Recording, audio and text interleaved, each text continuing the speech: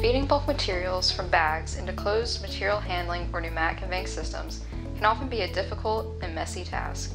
Azo's bag tipping station, which is easy to use because of its ergonomic design, allows workers to safely and reliably discharge materials from sacks or boxes into closed manufacturing processes. For reliable and clean operations, the feeding hopper is equipped with a dust-tight, locking door with an integrated filter or dust connection and safety grid to keep foreign materials out of the product stream.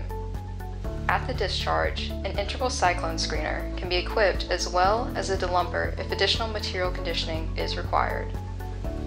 Highly customizable with standard in two different designs, Azo's bag tipping station can be used for plastics, chemicals, food, beverage, and pharmaceuticals with the highest hygienic requirements. Available in different materials and surface finishes, Azo can provide for the perfect solution for your system needs.